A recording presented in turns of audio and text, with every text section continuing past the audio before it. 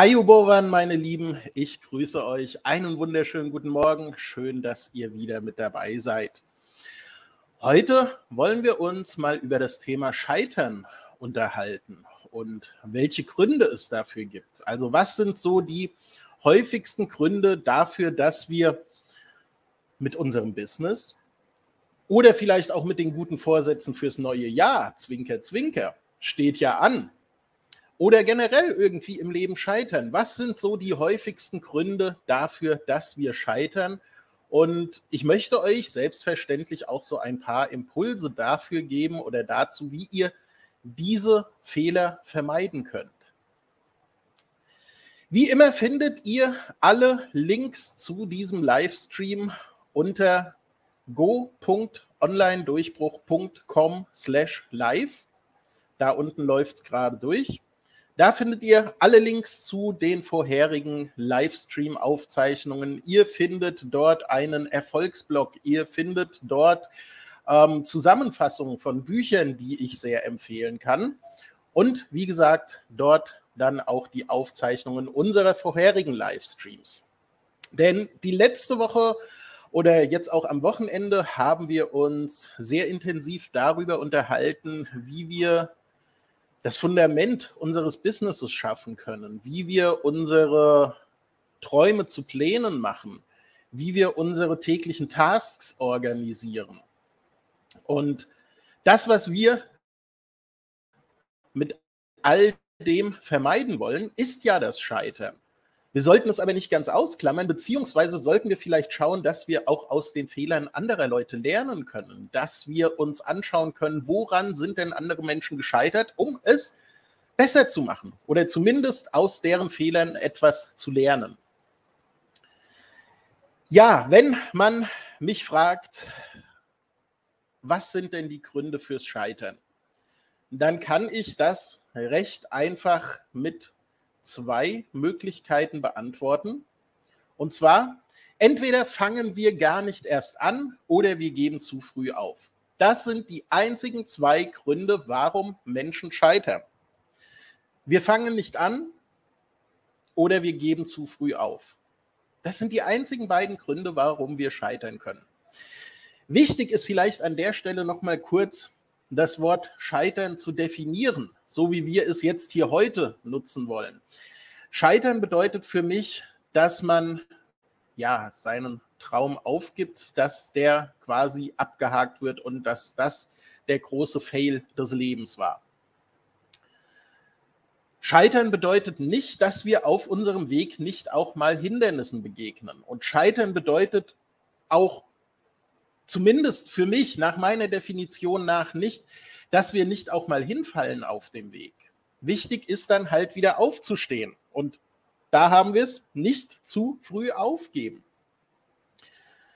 Wenn wir also mit unserem ursprünglichen Plan irgendwo auf gut Deutsch gesagt auf die Schnauze fliegen, dann sollten wir überlegen, was war jetzt der ausschlaggebende Punkt und wie können wir es besser machen. Und dann stehen wir aber auf und gehen weiter. Dann sind wir nicht gescheitert.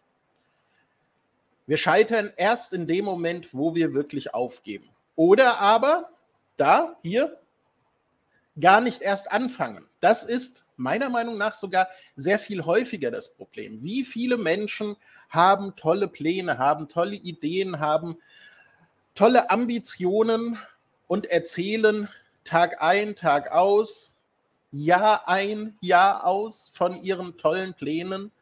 Aber was passiert? Sie setzen nicht um.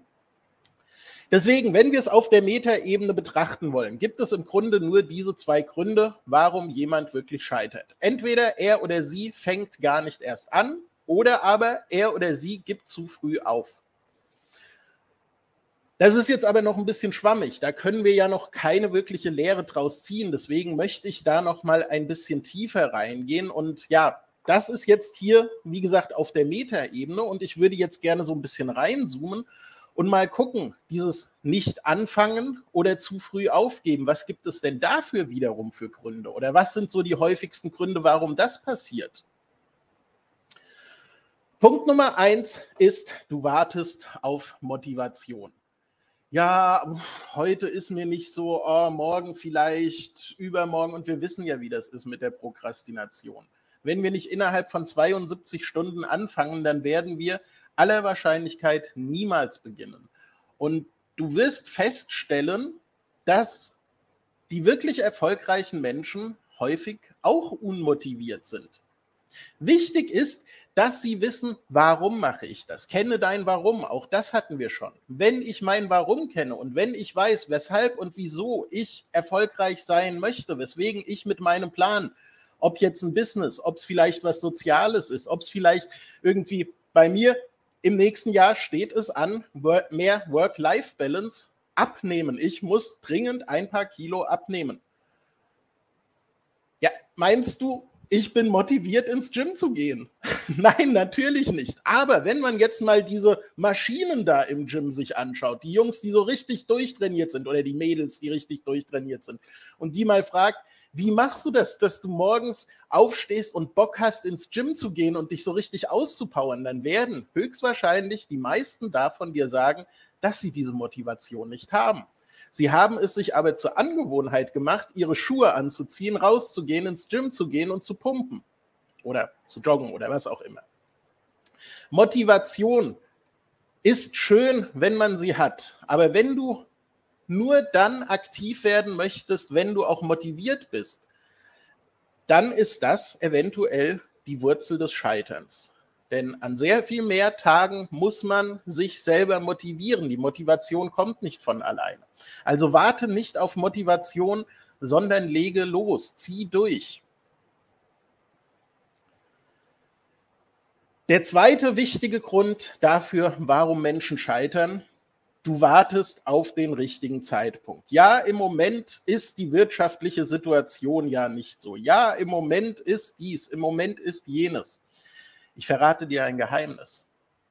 Und im Grunde ist es kein Geheimnis, weil wenn du das mal, wenn du das mal wirken lässt, mal drüber nachdenkst, wirst du wahrscheinlich feststellen, ja, genau so ist es. Wir haben uns schon immer gesagt, dass im Moment nicht der richtige Zeitpunkt ist. Ob es zu Zeiten der C-Krise war, wo wir gesagt haben, ja, im Moment im Lockdown, da können die Leute, oh, ich weiß nicht, ob Lockdown auch bei Facebook was ist. Ich sage es nicht nochmal, vielleicht, vielleicht, wenn ich es nur zweimal gesagt habe, ist es in Ordnung. Aber die Leute sind im Lockdown und deswegen kann ich mit meinem Geschäft jetzt nicht starten. Oder da ist ein Krieg in Europa und die Strompreise, die Gaspreise gehen durch die Decke. Jetzt ist nicht der richtige Zeitpunkt. Oder hier beispielsweise auf Sri Lanka hatten wir, bevor das mit dem C-Thema losging, ein Jahr davor sehr heftige Anschläge hier gehabt, die die Tourismusindustrie zum Einbruch gebracht haben. Auch nicht der richtige Zeitpunkt. Du merkst, es ist immer irgendwas, weswegen wir sagen, im Moment ist nicht der richtige Zeitpunkt. Ich muss noch ein Jahr warten. Vielleicht ist es noch ein Zertifikat, das ich brauche. Vielleicht noch irgendeine Weiterbildung, Ausbildung. Vielleicht will ich noch irgendein Coaching zum Thema Marketing machen, bevor ich loslege. Hier kommt das große Geheimnis. Es ist nie der richtige Zeitpunkt. Es wird kein richtiger Zeitpunkt kommen. Dafür ist die Welt zu komplex. Es wird immer irgendeinen Grund geben, den wir uns vorgaukeln können, den wir anderen vorgaukeln können, warum im Moment nicht der richtige Zeitpunkt ist. Es wird niemals den richtigen Zeitpunkt geben. Aber die gute Botschaft daraus ist, wenn nie der richtige Zeitpunkt ist, dann ist letzten Endes immer der richtige Zeitpunkt. Es gibt nie einen besseren Zeitpunkt als zu starten wie jetzt. Ein chinesisches Sprichwort sagt, der beste Zeitpunkt, um einen Baum zu pflanzen, war vor 50 Jahren. Der zweitbeste ist heute. Deswegen starte jetzt. Es gibt nicht den richtigen Zeitpunkt. Und wenn du auf den wartest, wirst du niemals starten. Punkt Nummer drei. Du hast Angst vor Fehlern und vorm Scheitern. Also, was werden die Nachbarn sagen? Meine Kollegen werden mich auslachen, wenn ich ihnen jetzt erzähle, dass ich mir ein Zeithassel aufbaue, ein, ein, ein, ein Nebengeschäft, ein zweites Standbein aufbaue und das vielleicht scheitert. Wenn ich damit nicht erfolgreich bin, dann werden die mich auslachen. Oder meine Frau, mein Mann, was wird er oder sie von mir denken, wenn ich jetzt mich hier selbstständig mache und damit auf die Schnauze fliege?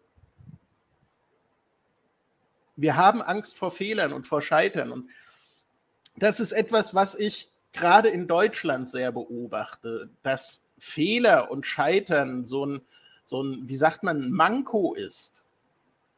Schöner Scheitern, das ist so eine Aufforderung aus der Lean Startup Szene. Zumindest begegnet mir das dort immer wieder und da bin ich sehr begeistert, dass sich da tatsächlich etwas wandelt, weil das auch im deutschsprachigen Raum wirklich gepredigt wird, Mache deine Fehler schnell, lerne aus deinen Fehlern, scheitere schnell, schöner scheitern, das ist so das Motto. Und das ist in anderen Ländern tatsächlich schon immer Kultur gewesen.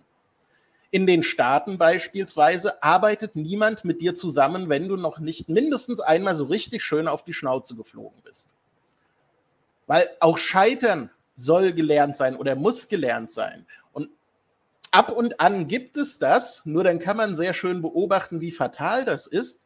Jungunternehmer, die direkt durch die Decke schießen, die nicht scheitern, die wirklich von 0 auf 100 durchs Dach schießen und denen dann gewisse Ressourcen fehlen, ohne das jetzt zu werten. Ob das dann Hochmut ist oder ob das so ein Gefühl des Unbesiegbarseins ist, aber auf jeden Fall ist das etwas sehr, sehr Gefährliches. Menschen, die Fehler gemacht haben, Menschen, die schon mal gescheitert sind, wissen, wie sie damit umgehen und die gehen auch mit einem ganz anderen Mindset ran. Und deswegen wünsche ich mir, dass auch in Deutschland eine gewisse Fehlerkultur entsteht, wo man nicht sofort vom Fenster weg ist, wo man seinen Namen verbrannt hat, wenn man Fehler gemacht hat, wenn man gescheitert ist. Und interessanterweise ist gerade bei der Angst vor Fehlern und vorm Scheitern sehr viel häufiger das Ding hier oben drin. Natürlich gibt es auch Unternehmen und Unternehmer, die scheitern. Und ja, auch mit unseren guten Vorsätzen fürs neue Jahr, wenn wir jetzt mal vom Business weggehen, kann es passieren, dass man scheitert. Aber wenn wir es gar nicht versuchen, dann sind wir schon zu 100 Prozent gescheitert. Wir haben also prozentual gesehen eine deutlich bessere Chance auf Erfolg, wenn wir es versuchen, selbst wenn es dort das Risiko von Fehlern gibt. Aber auch die sollten wir reframen und sollten sagen, hm, spannend, mal gucken, was ich für einen Fehler heute machen kann. Wichtig ist dann natürlich, aus diesem Fehler zu lernen und ja, besser zu werden dadurch. Also keine Angst vor Fehlern, keine Angst vorm Scheitern. Leg lieber los und dann wirst du schon sehen, wo vielleicht irgendwo Hürden kommen. Und selbst wenn du komplett auf die Schnauze fliegst, hast du dadurch unglaublich viel an Erfahrung gesammelt. Und deswegen gibt es dieses Scheitern im Grunde gar nicht. Selbst wenn das, was wir jetzt mal hier als Scheitern bezeichnen, eintreten sollte, hast du daraus Erfahrung fürs Leben, für dein Business, für deine Strategien gesammelt. Und deswegen ist auch das Scheitern letzten Endes ein Gewinn. Vielleicht nicht der Gewinn, den wir uns wünschen, aber auf lange Sicht wird uns das weiterbringen. Punkt Nummer vier. Du willst alles perfekt machen. Der Perfektionismus. Das ist ein ganz wichtiger Grund dafür, warum Menschen scheitern. Und das wirkt so paradox, weil wir wollen doch perfekt sein, dann können wir doch nicht scheitern, wenn alles perfekt ist. Ja, aber auch diese Idee von der Perfektion gibt es nicht. Du kannst dich niemals zu 100 Prozent auf alle Eventualitäten vorbereiten, ohne dabei in so komplexe Denkmuster und Strukturen zu verfallen, dass du dann eben auch nicht startest. Dann hast du irgendwann theoretisch in 20, 30 Jahren den perfekten Plan, aber die Zeit ist schon längst um, in der du hättest starten können. Perfektion ist ich weiß nicht, ob das jetzt wirklich wieder so ein deutsches Thema ist, aber auch das erlebe ich in anderen Ländern anders, wo erstmal gestartet wird und dann geschaut wird, wo geht es denn hin? Wie können wir uns flexibel an die Umstände anpassen? Und Perfektion, so dieser Wunsch von einem perfekten Businessplan oder einer perfekten Strategie oder das Produkt muss perfekt sein, das führt uns dazu, dass wir halt niemals starten. Deswegen lieber unperfekt gestartet als perfekt gewartet. lass diese falsche Perfektion los. Und man kann sich auf dem Weg ja auch umentscheiden. Das ist so dieses Konzept vom agilen Projektmanagement, vom Scrum-Management, dass wir wissen, da will ich hin, hier stehe ich jetzt und jetzt gehe ich mal los und guck mal, wie ich da hinkomme. Und der Weg ist halt niemals gerade dorthin. Deswegen, Perfektion entsteht vielleicht auf dem Weg, aber vielleicht wird sie auch niemals da sein. Deswegen lass diesen Gedanken los. Ich muss erst alles perfekt vorbereitet haben. Punkt Nummer fünf. Dein Planungsprozess ist ineffektiv und hält dich auf. Ja, es ist wichtig, dass wir gute Strategien haben, dass wir gute Formate, dass wir gute Tools zur Hand haben, dass wir unseren Prozess entsprechend planen können. Aber wenn dieser Planungsprozess mehr Raum einnimmt als das Projekt dann schlussendlich selber, dann läuft da was falsch. Das hatten wir beispielsweise beim Thema, als es um das Business Model Canvas ging. Da habe ich dir erzählt, wie man vor 25 Jahren Businesspläne gemacht hat, wo man erstmal 150, 160 Seiten mit diversen Tabellen und Kalkulationen ausarbeiten musste, bevor man überhaupt irgendwie an einen Investor herantreten konnte. Das ist super uneffektiv. Also ich habe damals, hatte ich dir erzählt, mindestens ein Jahr lang an einem Businessplan gearbeitet, nur um am Ende festzustellen, dass wir zu früh sind und die Investoren noch überhaupt nicht richtig verstanden haben, was wir wollten. Die Zeit hätte ich mir doch sparen können. Und deswegen achte darauf, dass dein Planungsprozess für dein Business, aber auch für private Projekte nicht so kompliziert ist, dass du dich mehr für, an der Planung aufhältst als an der Umsetzung. Wenn dein Planungsprozess ineffektiv ist und dich aufhält, dann macht es Sinn, an der Stelle sich nach anderen Tools umzuschauen. Und ich stelle dir hier immer wieder ja auch Tools vor, die meiner Meinung nach sehr schlank und sehr effektiv sind. Also schreib bitte keinen alten klassischen Businessplan von 150 Seiten, mach bitte keine Berechnungen, wo du einen Mathematiker für brauchst, dass das nochmal gegengerechnet wird, sondern mach einen schlanken Businessplan und lege los. Der Planungsprozess soll dir auf dem Weg helfen. Der Planungsprozess soll nicht den Hauptteil des Weges einnehmen. Punkt Nummer 6. Du gibst beim ersten Hindernis sofort auf. So gut wie kein Business der Welt ist ohne Hindernisse von 0 auf 100 gestartet. In aller Regel ist es so, dass Businesses, Businesses, also Geschäfte, sich auf dem Weg bewähren müssen. Und es gehört absolut mit dazu, dass da Hindernisse kommen, die man dann mal mehr, mal weniger kreativ lösen kann. Aber diese Hindernisse auf dem Weg gehören mit zum Wachstum dazu. Wenn wir uns die Geschichte von Apple anschauen, wenn wir uns die Geschichte von IBM anschauen, von Microsoft, da haben wir überall Hindernisse auf dem Weg, die irgendwie gelöst wurden, aber die sind nicht irgendwie wie, wie, wie auf einer Eisbahn von Start zu Ziel ganz easy dahingeschlittert und geglitten, sondern es sind immer wieder irgendwo Hügel gewesen, die man bezwingen musste. Und das gehört zu einem Business mit dazu. Das gehört auch zum Erfolg im Privaten mit dazu, dass man Hindernisse für sich auch reframed und sie als Herausforderungen sieht, als Möglichkeiten zum Wachstum, als kleine Rätsel. Also vielleicht kennst du solche Escape Rooms, wo man Rätsel in einem Zimmer lösen muss, um irgendwie sich aus dem Gefängnis zu befreien oder so. Und das ist so ein bisschen diese Kultur, die ich spüre, wenn ich erfolgreiche Entrepreneure in ihrem Business sehe, wenn da ein Hindernis kommt. Das ist dann nicht, oh mein Gott, da kommt der große Fallstrick, der uns jetzt zum Stürzen bringt. Nein, es ist eher dieses spielerische Escape Room-artige. Cool, interessant. Da haben wir ein Problem und jetzt lass uns mal überlegen, wie wir das lösen können.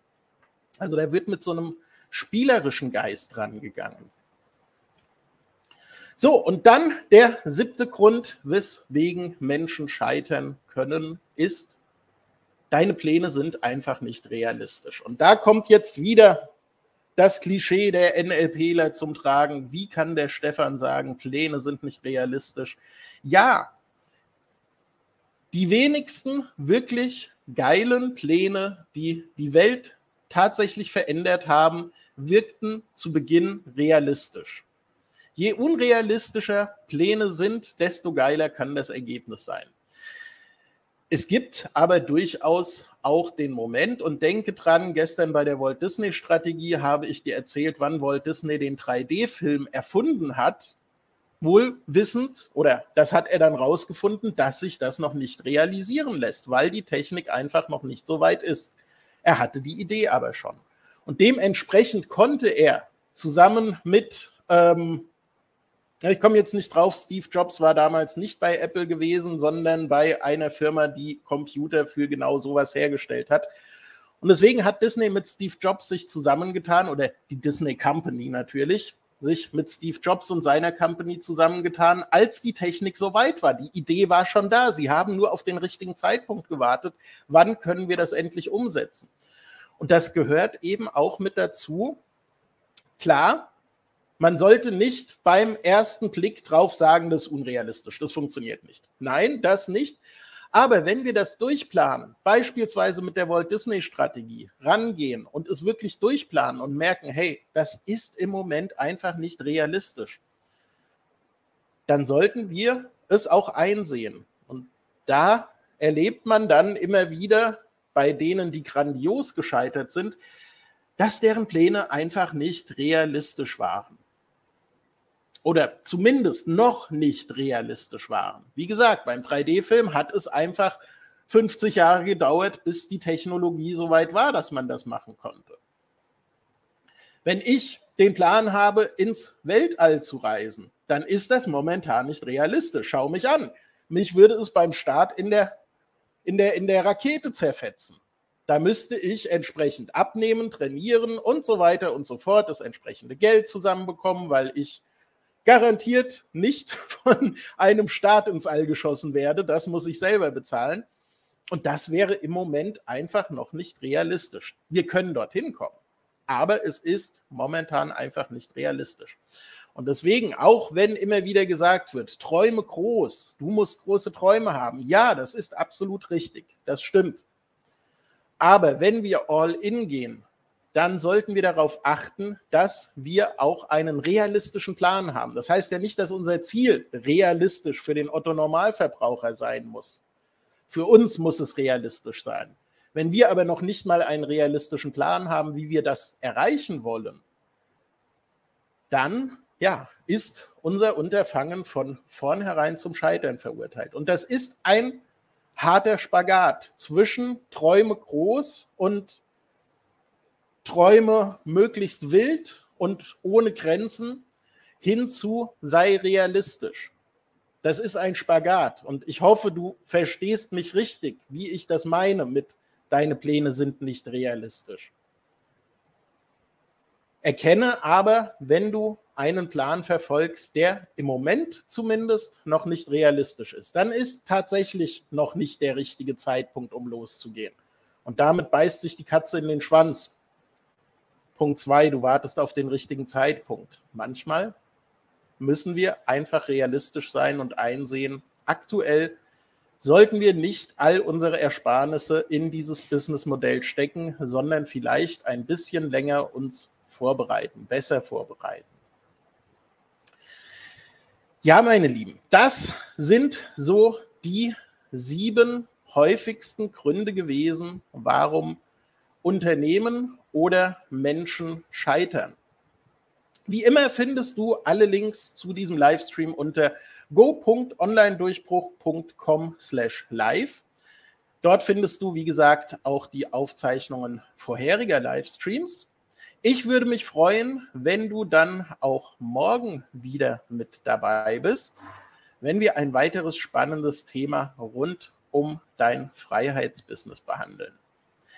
Jetzt wünsche ich dir erstmal einen wunderschönen Tag und wir sehen uns morgen. Bis dahin, ciao!